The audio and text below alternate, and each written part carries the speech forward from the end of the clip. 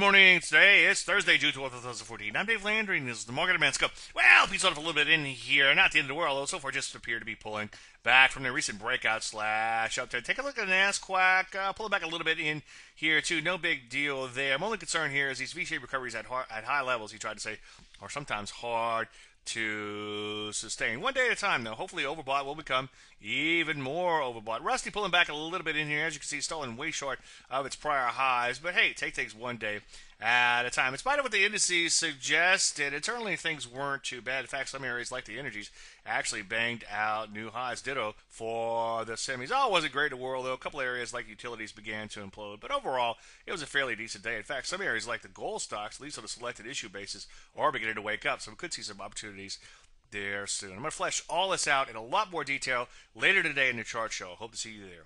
Any questions, as usual, Dave at DaveLandry.com. I'm Dave Landry, and you just heard Market a Minute.